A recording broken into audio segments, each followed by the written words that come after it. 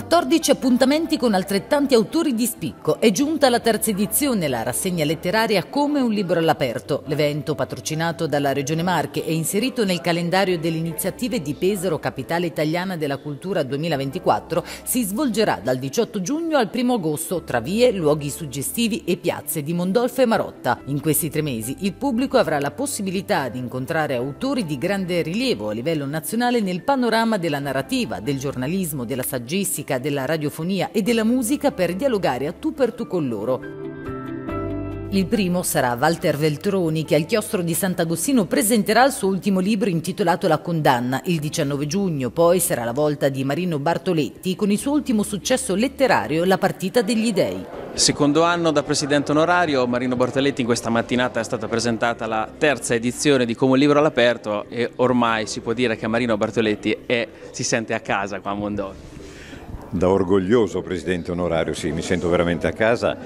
e ho detto a tutti gli scrittori che ho contattato per partecipare a questa manifestazione che anche loro si sentiranno a casa, perché poi tutto nasce da una mia presentazione tre anni fa,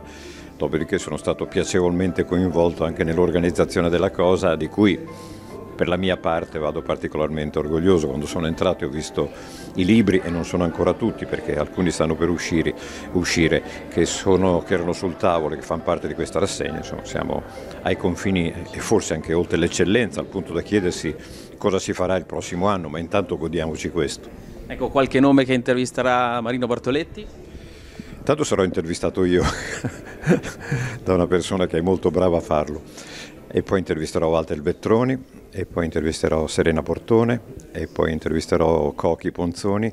e poi gran finale con Maurizio De Giovanni. Già questi quattro nomi fanno capire la perfezione, anche la complementarietà culturale dei, dei personaggi che ci sono e ne abbiamo trascurati un'altra quindicina, quindi io veramente vorrei essere giù dal palco, non sopra il palco per, per godermi questa manifestazione. Come sempre questa serie di appuntamenti diffusi ad ingresso gratuito serviranno a far conoscere e apprezzare a visitatori e turisti i luoghi più suggestivi del territorio tra il borgo e il mare. Il ricco calendario, nato grazie alla sinergia con Mondadori Bookstore Fano, avrà quest'anno un'anteprima speciale, sabato 18 maggio, in collaborazione con l'Istituto Comprensivo Fermi. In quella giornata, interamente dedicata ai libri per ragazzi, si susseguiranno in Piazza del Comune quattro importanti autori, Alessandro Goffi, Francesco Muzzo Pappa, AJ Foster e Paola Barbato. Sì, un bel connubio che è iniziato a fine dello scorso anno eh, quando abbiamo pensato di raccogliere la proposta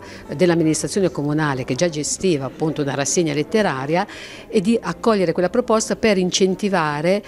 l'atteggiamento dei nostri alunni alla lettura, alla scoperta del libro, del libro cartaceo, in un'epoca tecnologica in cui il libro cartaceo è veramente difficile da far sfogliare ad un ragazzo e in questo sono venuti incontro i prof, nello specifico il prof Moretti, la professoressa Crotti, che hanno accolto con entusiasmo questa proposta e l'hanno declinata poi nelle aule scolastiche, nei mesi scolastici. Una rassegna eh, che nasce dai ragazzi, per i ragazzi e gestita dai ragazzi. Quindi è stato un uh, processo lungo, faticoso, impegnativo, ma che ci ha dato un sacco di soddisfazioni. Quindi i ragazzi hanno reagito in maniera veramente positiva e abbiamo visto comunque anche l'entusiasmo da parte dell'amministrazione comunale eh, che ha creduto in questo nostro progetto e ha voluto appunto questo coinvolgimento. L'intero programma della rassegna sarà presentato venerdì 10 maggio nello stand della Regione Marche alla 36esima edizione del Salone del Libro di Torino.